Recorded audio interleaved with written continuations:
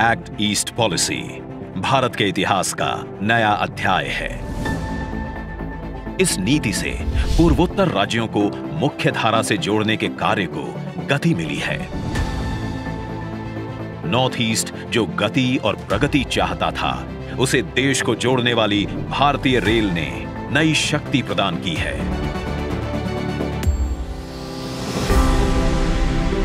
आज त्रिपुरा की राजधानी अगरतला और एक ट्रेन सेवा से कोलकाता से जुड़ रही है। भारत की माननीय राष्ट्रपति श्रीमती द्रौपदी मुर्मू के कर कमलों से।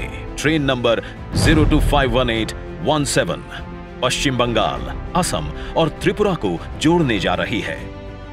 असम की बराक वैली से गुजरती ये ट्रेन गुवाहाटी और अगरतला के लोगों को इंटरसिटी सुविधा देगी। मणिपुर और मिजोरम के लोगों को भी कोलकाता जाने में आसानी होगी।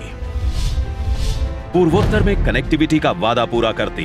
12097, 12098 अगरतला खोंगसांग जन शताब्दी एक्सप्रेस का भी आज भारत की माननीय राष्ट्रपति श्रीमती द्रौपदी मुर्मू द्वारा शुभारंभ किया जा रहा है। विस्टाडोम और एलएचबी कोच से लैस ये ट्रेन अगरतला खोंगसांग के सफ़र को मनोरम आधुनिक और आरामदायक बनाएगी। मणिपुर के जिरीबाम से इम्फाल तक बन रही नई रेल लाइन पर खोंगसांग एक नया स्टेशन है, जिसे जन शताब्दी एक्सप्रेस ट्रेन से कनेक्ट किया जा रहा है।